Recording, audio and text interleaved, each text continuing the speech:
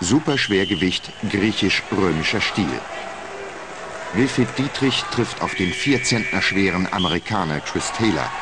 Dietrich macht seinem Spitznamen der Kran von Schifferstadt alle Ehre.